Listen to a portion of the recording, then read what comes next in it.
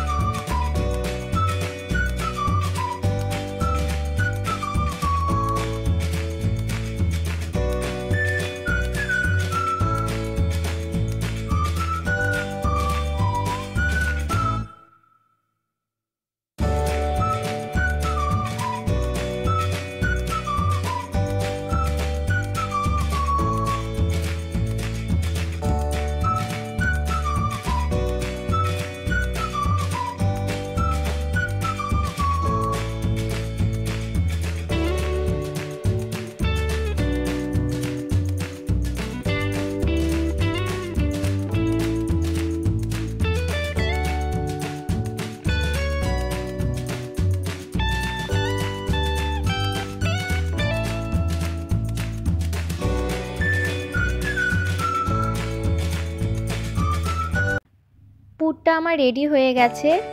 আর এখানে দেখো, ওই ধোসার যে ব্যাটারটা, সেটাও রেডি করা আছে। আর এখানে সাম্বার ডাল রয়েছে। এবার মা সেটাতে ফোড়ন দেবে। এইভাবে মা তেলের মধ্যে ফোড়ন দিয়ে দিচ্ছে। এটা সর্ষে দিচ্ছে।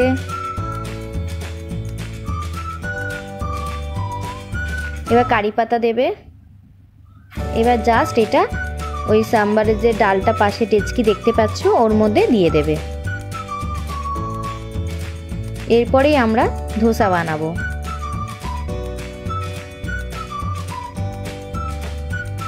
তবে বাড়ির ধোসা যেরকম হয় রাস্তার মতো, অত তো সুন্দর হয় না।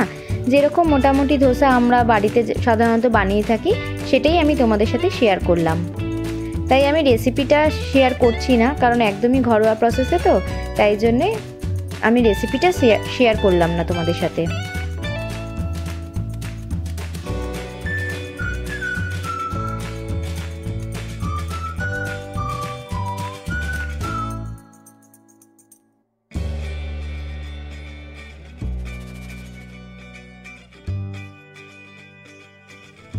রেডি হয়ে গেছে ধোসা।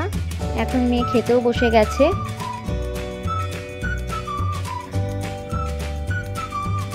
ভালো ভালো খাবার খেলে মনটা সত্যি ভালো লাগে।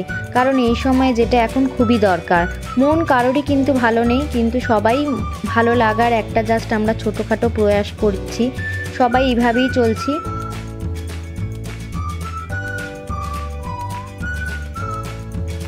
আর নিজেদের মনটা যদি ভালো না লাগে, দেখবে ছোটদেরও মনটা ভালো লাগে না। তাই ছোটদের মনটা ভালো রাখার সাথে সাথে নিজেদের মনটাকেও ভালো রাখতে হবে, হাসি খুশি থাকতে হবে। ভালোই হয়েছিল ধোসাটা, তাই তোমাদের একটা দেখালাম। তো সবাই খুব ভালো থেকো, সুস্থ থেকো হাসি খুশি থেকো আজকের মতো ভিডিওটা আমি এখানেই শেষ করছি। দেখা হবে আবার নেক্সট ভিডিওয়ে ততক্ষণের জন্য টাটা।